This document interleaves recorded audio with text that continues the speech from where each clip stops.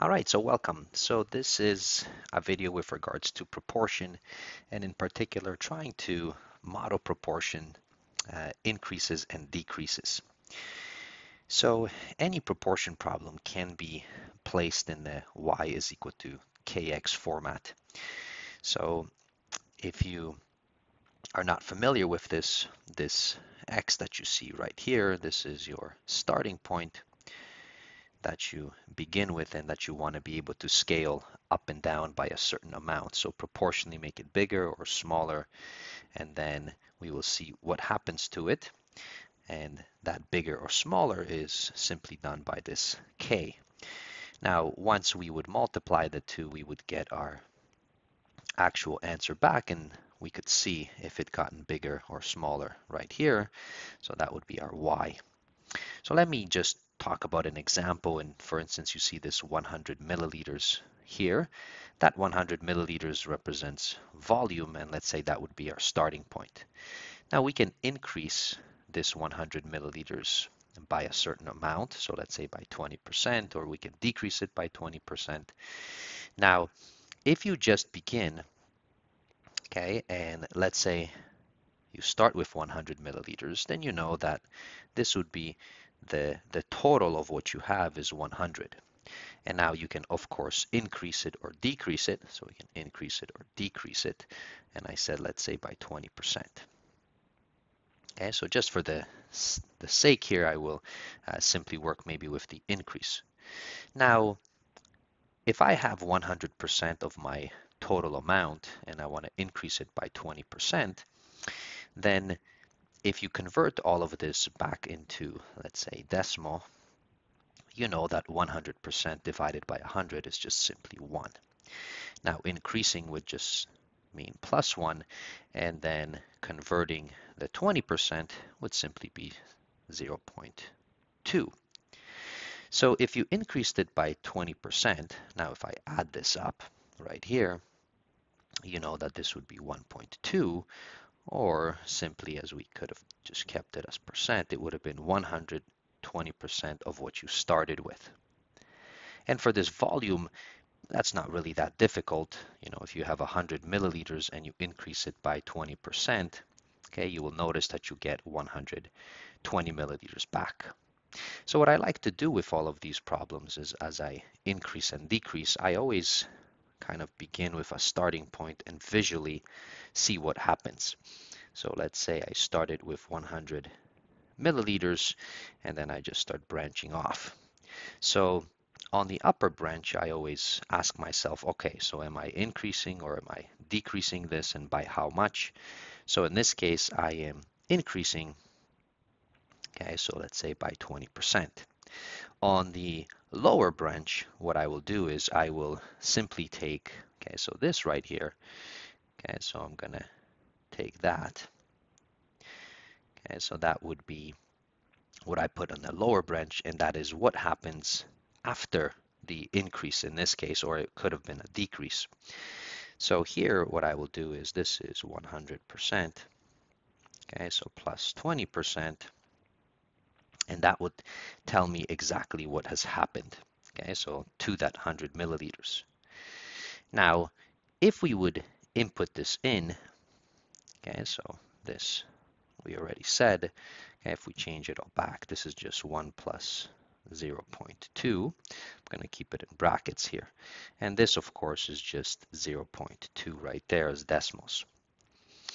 So now what I have is I can tell you exactly what has happened to that 100 milliliters.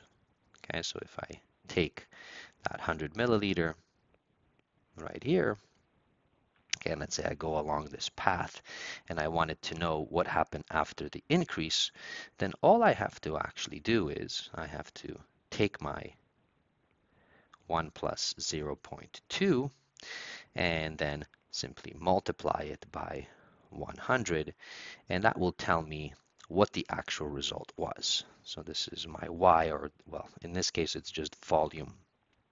So if you do that, you would get 120 milliliters because we were talking about okay, the actual volume itself. Now, if it's a decrease, okay, let's say by 20%, then the only difference okay, would be that your plus would simply change to a minus.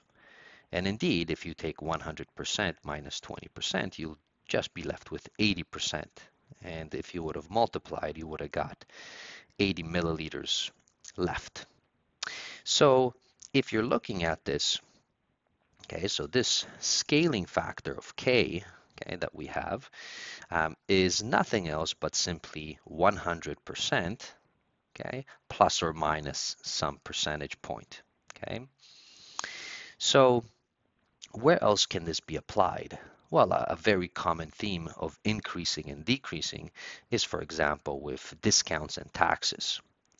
So if you kind of think about it, let's say that you had, and let's make it $150. Now, as you know, sometimes you'll walk into stores and then maybe they'll tell you that there is a discount. And that discount, whatever it may be, let's say it's 5%. Now, a discount is, of course, a decrease by a percentage. So your 150%, your sorry, $150 is just 100% of the total. Your discount is nothing else but a subtraction, and this would be 5%. Now, if you change that into decimal, this is just 1 minus 0.05, of course. And this becomes your constant, okay? And what you can do is you can simply say, all right, so I have $150. Okay, again, I always like to branch them off. I have a discount of 5%. Okay, so that would be that. And then on the lower branch, what I have is 1 minus 0.05. And that particular branch, if I multiply, okay, so these two right there, okay, if I take that and this, okay, the multiplication of them would be simply 100. Okay, so 50, and then the multiplication, let me shift this over, 1 minus 0.05. And once you multiply, you know exactly how much you had left after the discount. So this itself is the discount that we can calculate. So that's the amount of discount. And then this right here, okay, would simply tell you how much you would have after the discount. So if you would take, let's say, let's say our calculator right here, Okay, so we have 1 minus the 5% discount multiplied by 150, okay, and that would be 142.5 or 50. So that's what would happen after the discount. Now, along with discounts, of course, there are taxes. And taxes, instead of subtraction, okay, is simply addition because we are adding things, but you would do them exactly in the same way. So as you can see, a discount is a decrease and taxes are an increase. Now these increases and decreases that we have with respect to these proportions, okay, it doesn't don't have to just happen with volume or money. They can even happen with medication flows. So you can imagine, okay, so that what you would have, okay, so let's say that you are setting up an IV or something like that, and maybe it is flowing at 10 milliliters, okay, so per hour. And again, you can ask yourself, you know, what do you want to do to this? Okay, maybe you want to decrease the medication because the patient doesn't need as much. Okay, so decrease, okay, would simply be subtraction by a certain percentage or amount. And then an increase, maybe you want to increase the medication because maybe the patients on painkillers and they feel more pain. Okay, so that would be a positive. So this is just an introductory okay, video with regards to proportion and setting it up as an increase and decrease. And these branchings that we have, okay, I will illustrate in particular examples okay, that you will see. And I'll create the link to this video as well so that you can take a look at a few examples like that. So I hope that you found this introduction useful with regards to increasing and decreasing okay, amounts, if it's volume, money, rates, or anything like that. Okay, thank you for watching.